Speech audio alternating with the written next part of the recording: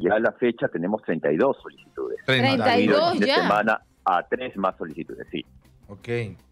Bien, este kit electoral es el conjunto de documentos que adquiere un promotor para reunir firmas de los ciudadanos, ¿verdad?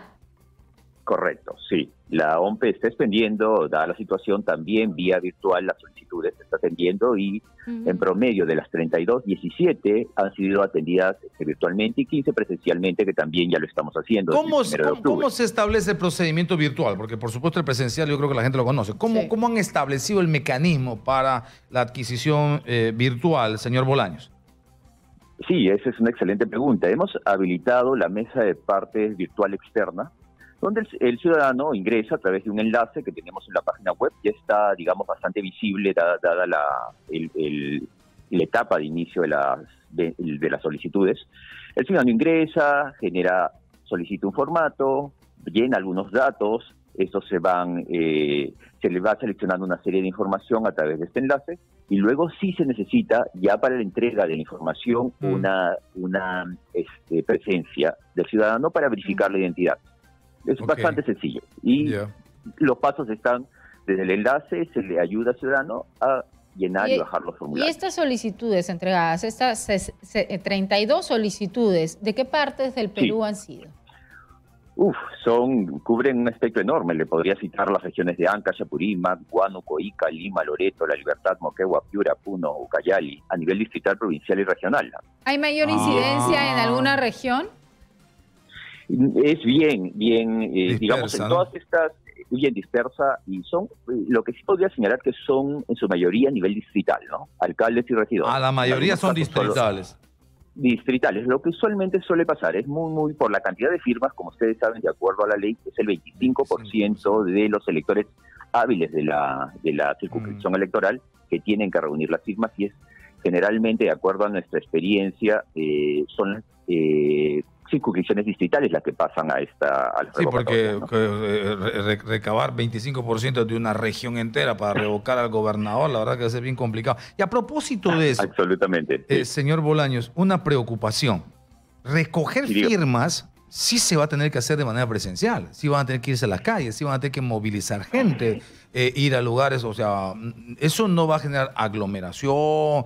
Eh, se va a establecer algún tipo de, de protocolo, cómo se va a cuidar una situación de esta naturaleza, que por supuesto está clarísimo que escapa, sin ninguna duda, a las competencias de hombre, pero digo, algún exhorto, alguna cosa hay que hacer porque normalmente estamos acostumbrados a este tipo de campañas, ¿no? O sea, a aglomerar gente, a hacer alguna actividad para que se reúna la gente y ahí de paso se le pase el planillón. Y justo todas esas actividades hoy, las de concentración, están prohibidas, ¿no? Sí, le agradezco la pregunta. Eh, este proceso debió iniciarse el primero de junio, de acuerdo al marco legal vigente. Dada la circunstancia de pandemia que apenas empezamos, si mal no recuerdo, la segunda fase, el Jurado Nacional de Elecciones emitió una norma de postergación a octubre. Eh, es en este contexto que OMP inicia la venta del kit, en, el- en esta etapa estamos todavía en las solicitudes, el primero de octubre. De modo que el proceso electoral de revocatoria se ha postergado hasta octubre del próximo año, Mm. ya no en junio, porque uno de los sustentos importantes de, la, de los considerandos o de la norma que emitió el Jurado Nacional de Elecciones es precisamente que podría este, estar en plena etapa de elecciones generales, en segunda vuelta, de darse el caso. ¿no? Claro. Eh, y sí, no, OPE para los ciudadanos, como ya lo estamos haciendo para las internas y para las generales, eh, la, la aprobación de determinados protocolos, pero esto es en cuanto a la organización del proceso. Sin embargo, también para la recolección de firmas estaremos este, dando algunas indicaciones particulares, pero eh, ciertamente es un, una etapa de, de seguridad que deben dar los promotores, no a los ciudadanos de la manera como tendrán que recolectar las firmas. Sí, Claro, ¿y qué, qué sigue en el proceso después de las solicitudes? Después de las solicitudes, eh, sí ya se evalúa y se entrega propiamente el kit electoral que está compuesto por una serie de formatos, documentos, eh, formatos eh, digitalizados que tiene que el ciudadano, el promotor bajar para recolectar precisamente la firma. Esto sí se hace presencialmente, ¿no? Mm. El- porque hay que ah, verificar la identidad del promotor. Eventualmente también se ha establecido por algunas circunstancias una cita vía Zoom, lo que permitirá comprobar con datos de RENIEC la identidad del promotor y se entrega ya la información. ¿Y esto cuándo, es dentro- cuándo en, en qué fechas más o menos es? Ya, es, eh, ahorita ya los, promotores han bajado, como le digo, 32 las solicitudes, ellos tienen que llenar datos, volverlas a presentar, ya con todos los formatos requeridos. Eh, les señalo, ¿no? La lista de adherentes, el formulario único de adquisición del sistema, porque son un, conjunto de nueve o diez formularios e información complementaria que se presentan físicamente, eh, y luego hay una evaluación de nueve días desde la presentación, que ya está en, dentro del etapa o a consideración del, del administrado, se evalúan en esos nueve días y se emite ya la resolución gerencial ¿no? de venta del kit, de expedición del kit. Se paga el derecho de 59 soles en línea a través de, las agencias del Banco de la Nación.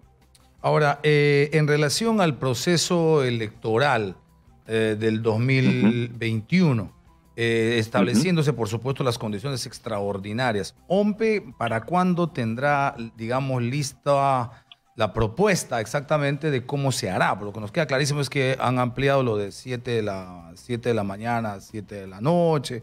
Se estaba evaluando el asunto de que si se va a pagar o no se va a pagar a los miembros de mesa, que si se ponía o no se ponía horario para los, las personas de la tercera edad. Eh, ¿Cuándo tendrían listo este, este asunto de cómo se va a hacer en sí el proceso electoral del 2021? Ah, excelente pregunta. Ya al momento apenas eh, se asumió la gestión, hace ya aproximadamente un mes y días, se iniciaron la elaboración de protocolos sanitarios. Hemos a la fecha elaborado siete protocolos, que ya están cinco de ellos validados y revisados por el Ministerio de Salud, que cubre la, el amplio espectro de, de, la organización del proceso, ¿no? desde la instalación de mesas, el trabajo en mesa, la protección del acceso a los locales, un cuidado del perímetro. Les adelanto, en una elección general eh, que allá hemos vivido, usualmente utilizamos 5.178 locales de votación, centros educativos, universidades, ahora estamos ampliando a 16.000 eh, locales de votación. eso es tres veces más y eso significará, me imagino, un despliegue de recursos extraordinario.